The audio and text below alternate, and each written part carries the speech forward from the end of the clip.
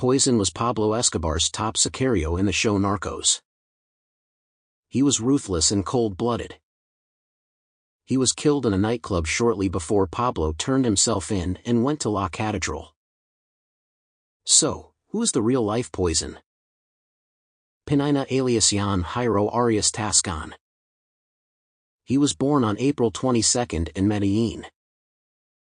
He joined the cartel after he stole a music player from a car that belonged to Pablo Escobar. It is said that Flaco Calavera was the person who found out and recruited him to Pablo's organization.